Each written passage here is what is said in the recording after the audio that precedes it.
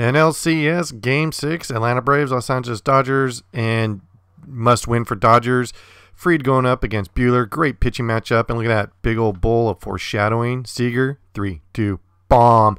This is crushed by Seager. This is a 359 foot shot, 43 degree launch angle. That's crazy. And then before Seager can catch his breath, Turner, gadoosh.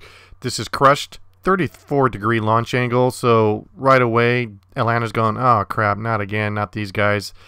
And this is great strategy by the Dodgers attacking early, being aggressive. They have to. They don't have any other choice. This is do or die for them. Braves just need to win to advance to the World Series, but Dodgers came out swinging, being very aggressive, and Pache having a great series, but he couldn't get to that one. And then Bellinger putting a cap on it for the three run rally in the first inning. And then after that, Fried kind of settled down. And then, uh oh, we got Ozuna having a great series. Boom, crushes this one to right. Mookie back, steals the ball, catches it, ends the inning, takes extra bases away. And wouldn't you like to have those two guys in the outfield? Mookie, great catch. Dodgers are pumped up, and this is pretty much a pitcher's duel. Dodgers win game six, force a game seven, and that's going to be super exciting to watch.